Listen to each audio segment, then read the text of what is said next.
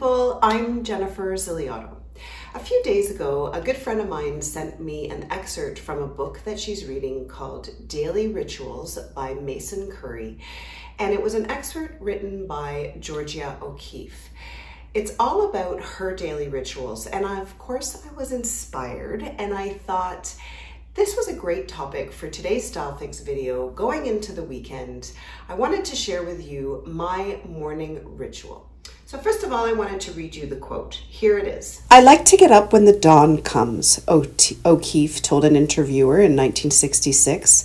The dogs start talking to me, and I like to make a fire and maybe some tea, and then sit in bed and watch the sun come up. The morning is the best time. There are no people around. My pleasant disposition likes the world with nobody in it. I can totally relate to that. Can't you? So let me tell you now about my morning ritual. Basically, what I do is I usually find myself getting up before everybody else. You know, I have to admit, I used to be a night owl, and since I've had kids, that has completely reversed. And I really love the quiet of the morning. So I get up early before everybody else.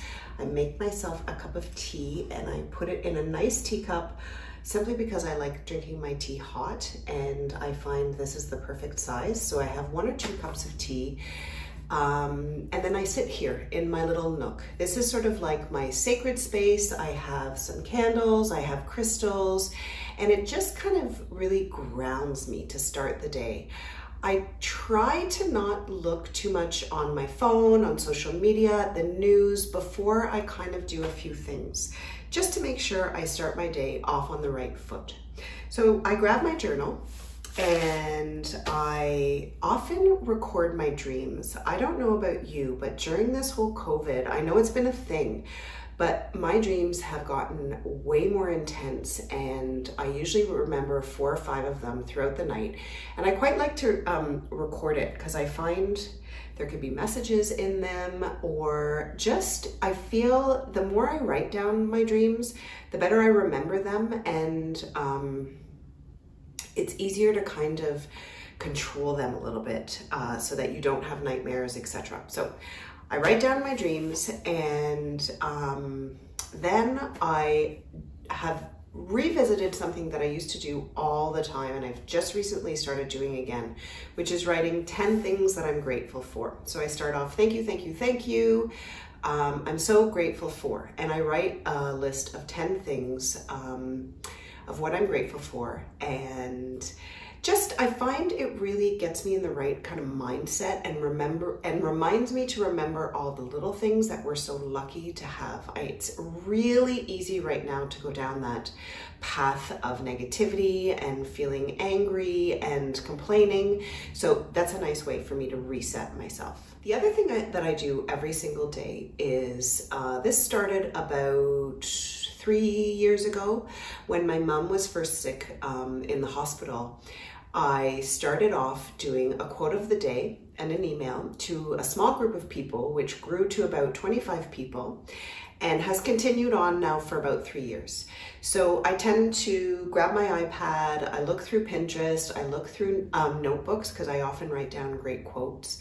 Sometimes you've seen the quotes because I'll illustrate them and then I'll use them on my Instagram and social media later on in the day um, as a quote of the day because it's been really fun and, and you've been enjoying that, so I will continue doing that.